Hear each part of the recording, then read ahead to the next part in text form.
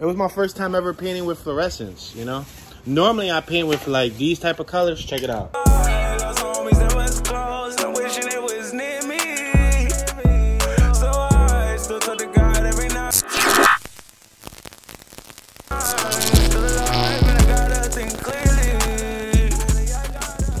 You know what time it is?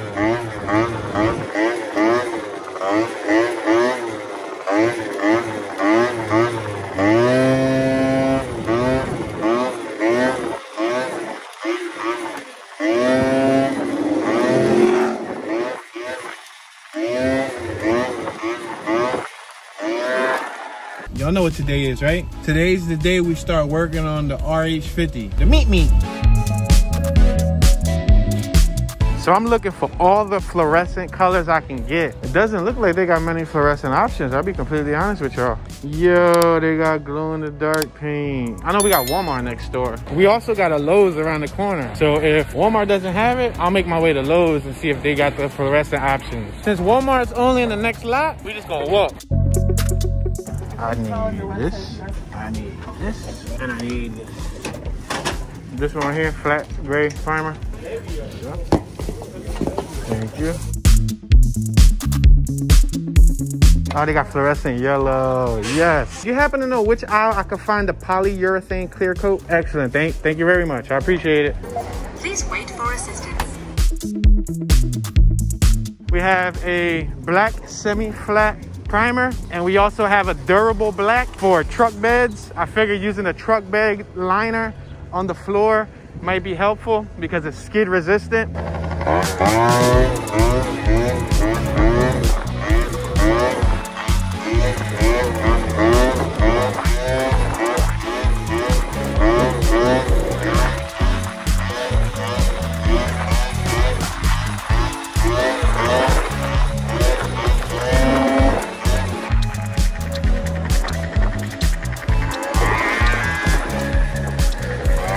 Can I get $2 on car wash three? It used to be $2 for four minutes. Now it's $3 for four minutes. I'll try to get some of them stickers off.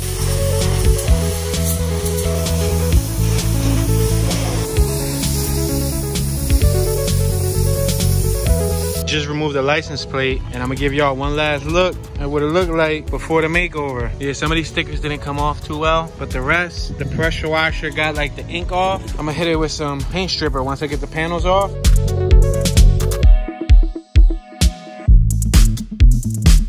I think it's time to start taking off the plastics. It's 91 degrees today and I'm sweating, yo. Like,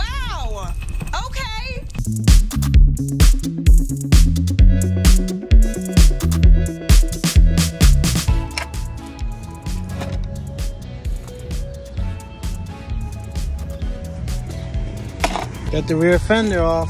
Me put this gas cap back on it so no random debris goes inside my gas tank.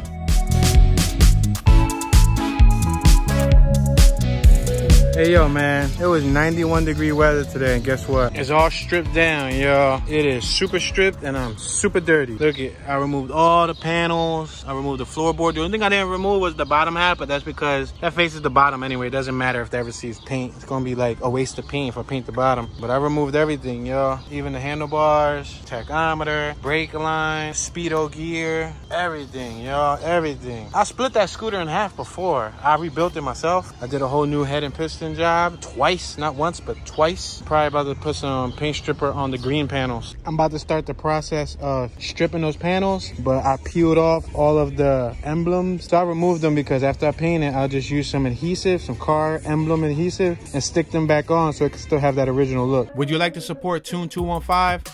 If so, purchase your exclusive Toon 215 limited edition timepiece. There are two models available. Model 1 comes in six different colors, which are unisex and can be worn by both male and females. The colors available are red, blue, green, yellow, orange, and purple. They have a Toon 215 with a matte design, so you can tell time wherever you go. They are $25 each. Model 2 comes in men's size 40 millimeter or women's size 36 millimeter and has the exclusive U2 profile art with a special message engraved in each watch. They are $60 each. Both watches include free shipping anywhere in the USA. Buy one or collect them all. It's up to you. But make note, there's a limited supply of model number one watches, but an extremely limited supply of model two watches. So act fast. I'm about to take some of this quick strip and I'm just gonna spray it on wherever there's stickers at. If you pay close attention, it's immediately working. It's bubbling up instantly. I'm done. The only thing that's going is my spirit. Whoa, y'all heard that boom boom? I said my spirit and it said boom. I've been using, uh, what I've been using? What I've been using? I've been using this little scraper right here. So that's phase one. Phase two, since there ain't gonna be no stickers on phase two, I think I can work on getting the green paint off. we getting closer to where we wanna be, y'all. It's a pain in the butt though, man, I'm telling you. I just sprayed some more on this one. Now it's just about bringing it all down to gray as much as possible. And at the very end, I could just start sanding them. I was roasting yesterday. I was cooking like a corn on the cob. From the earth I rise, and to the earth I one day will return. Today's day two of working on the meat meat plastics, and I haven't had much success. Man, this thing became an auto body project for real, man. Look at this. I got sand dust all over me. I'm getting it down, but it's taking forever, man. I got them pretty much uh, cleaned off and sanded down. Well, it's about to go down, guys.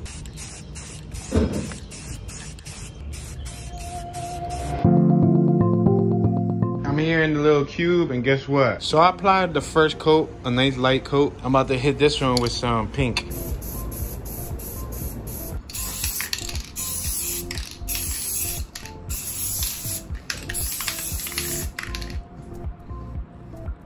Because you did it. You did it. You did it. The fluorescence so far is not laying evenly. Surprisingly, man. Like this pink one, oh no, man, it's laying poorly, poorly, poorly. Now repeat after me.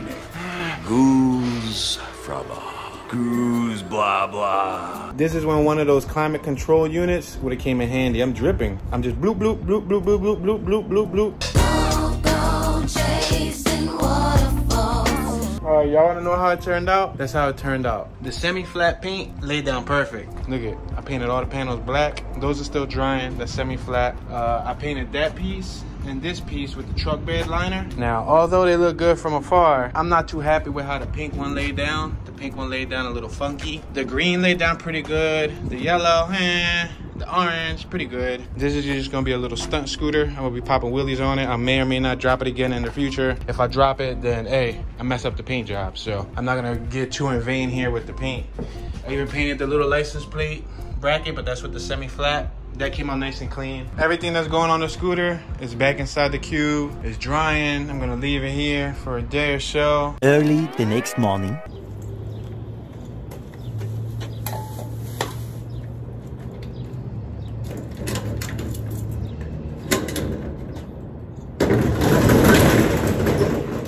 It was my first time ever painting with fluorescence, you know?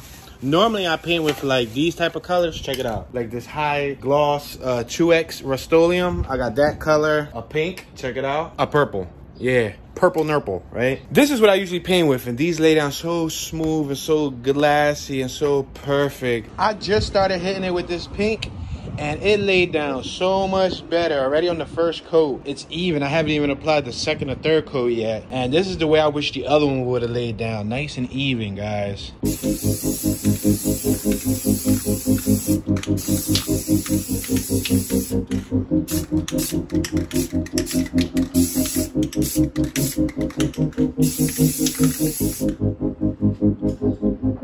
I just did something, y'all.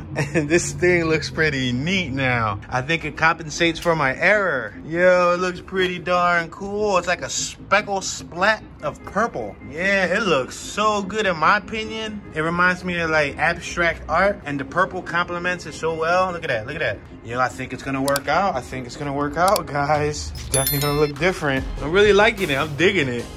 I'm digging that color combination. Those purple splats look dope. I'm on my way to the Essington exit. I'm gonna meet up with the owner of the Ride Out Supply Company. He manufactures some reflective spoke skins. And you remember that I wanted to put reflective spoke skins on my Supermoto. You remember, remember?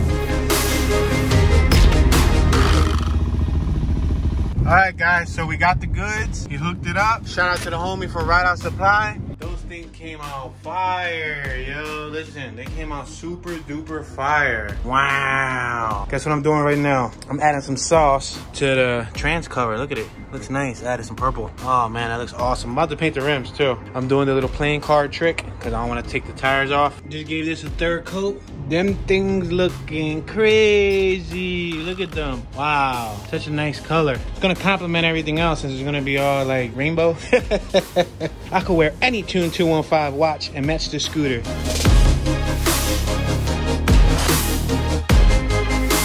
I'm painting the little front signal brackets and I'm painting a lot of the little accent parts. I got, look at the little booth being put into play. Yeah, I got the pipe bracket. I painted that pink and I painted the Kickstarter pink. And then of course we got that cover there. I painted the little pipe bracket blue. I'm gonna just let this all sit. I'm gonna let it cure. I'm hot. It's not as hot as it was a couple days ago, but I'm hot. So I'm gonna hit three coats on each item. Then I'm gonna leave everything just to dry. I'm gonna show y'all this abstract funkiness I just did. Look at that. It looks kind of like the galaxy. Check it out. I just got inspired and I was like, man, I wanna have one component have all the colors on it. So this one component, this is below the handlebars. It's like a speckle finish with the fluorescence and the solid opaque 2X colors. Just painted the exhaust yellow, y'all. this is the Leo Vince TT pipe. I use this yellow engine enamel VHT high temperature paint. Check this out, about to put this little eyeball on it.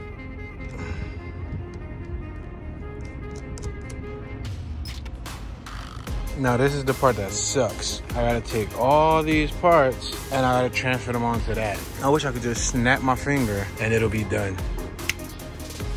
Yo, check it out, y'all. This y'all looking super duper funkadelic, man. Spicy, spicier than a bag of spicy Dorito chips.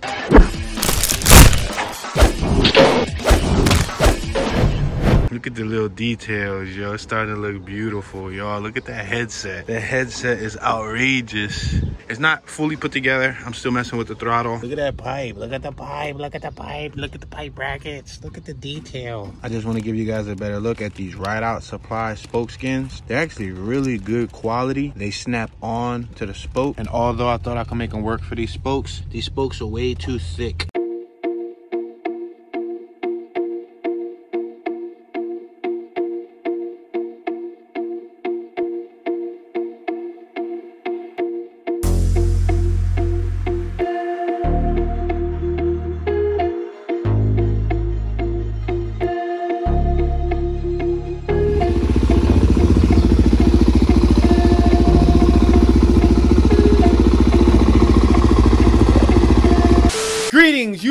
And viewers across the World Wide Web. This is Toon215, and I proudly interrupt your scheduled broadcasting to announce a free e-scooter giveaway. Would you like a chance to win a free e-scooter? If so, subscribe to Toon215 and Toon BeChillin'. Both YouTube channels are coming together to give you guys, the viewer, an opportunity to win a brand new Gotrax V2 e-scooter that goes up to 15 miles per hour.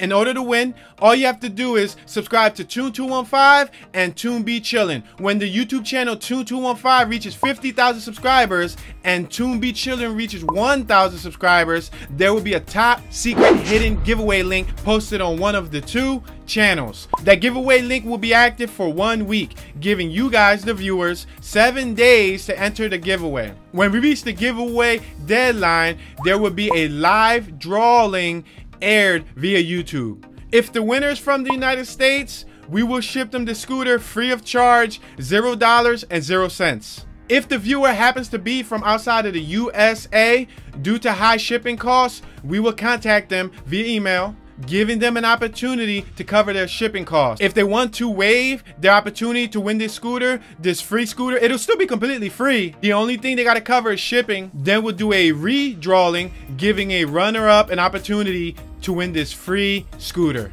So make sure you stay tuned turn on that notification bell so you can get notified when every video drops on this channel so you don't miss out on your opportunity. And share this video. The quicker we reach those milestones the quicker we give the scooter away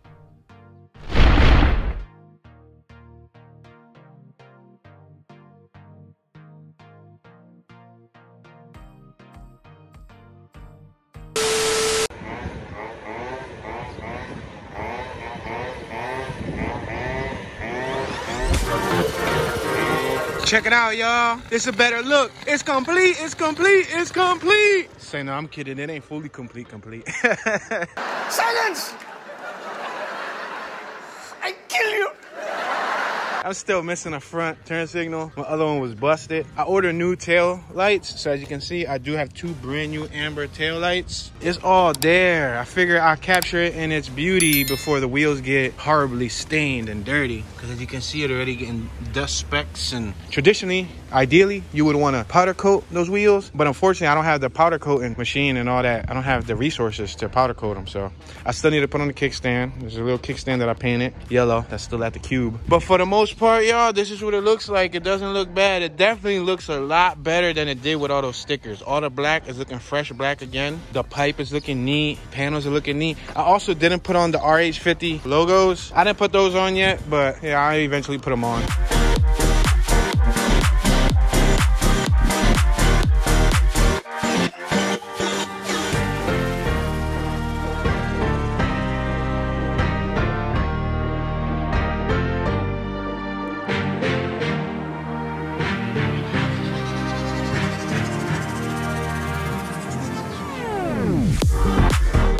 Overall i'm happy. I'm happy. I think this was mission accomplished. It took me about a week. It's looking nice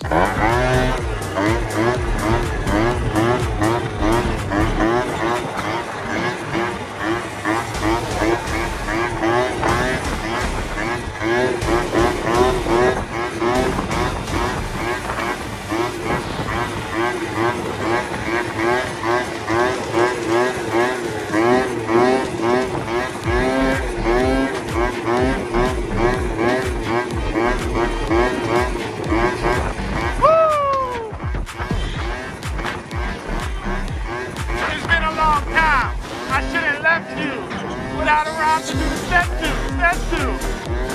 Woo!